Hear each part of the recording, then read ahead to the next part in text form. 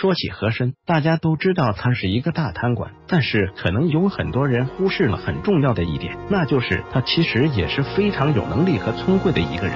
从一介寒门学子爬到了一国重臣的高位，更是贪敛了无数的财富。他的能力不能说不强，但是这样聪明的一个人。他为什么在乾隆死后立马就被嘉庆给处死了呢？难道他在生前就没有预料到这个结局？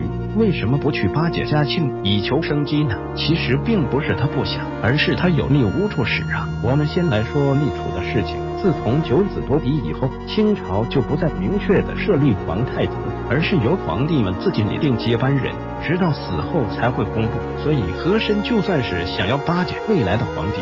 他也不知道巴结谁去，毕竟皇子那么多，巴结不过来。其二，他贪污了那么多的钱财，这就像是一条已经被养肥的猪。作为主人，难道就会因为猪抱着你的腿叫唤了两声，就决定不杀猪了吗？显然这是不可能的。所以说，无论他如何的去巴结新的皇帝，这都是无用功而已。可以说，和珅自从他开始贪污的那一刻起，他的死就已经是注定的。